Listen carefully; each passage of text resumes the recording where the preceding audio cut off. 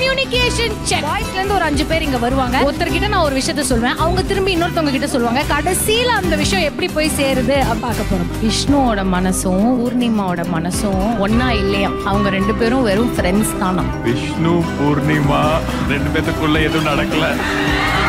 விஷ்ணு பூர்ணிமா அண்ணன் தங்கச்சி.